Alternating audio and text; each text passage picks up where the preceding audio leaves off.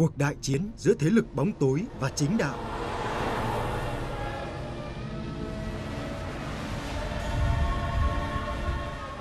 Một bên là bá tước Macaron hung dữ, hút máu để trở nên bất tử.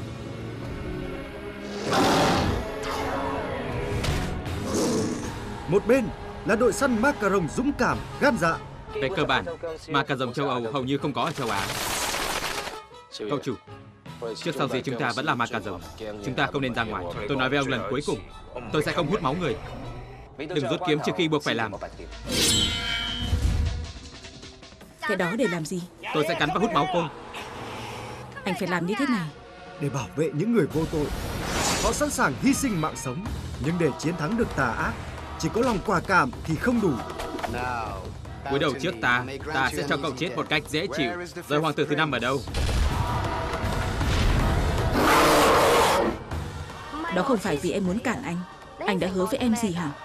Hãy quên đi quá khứ của cậu. Hãy quên cô ta đi.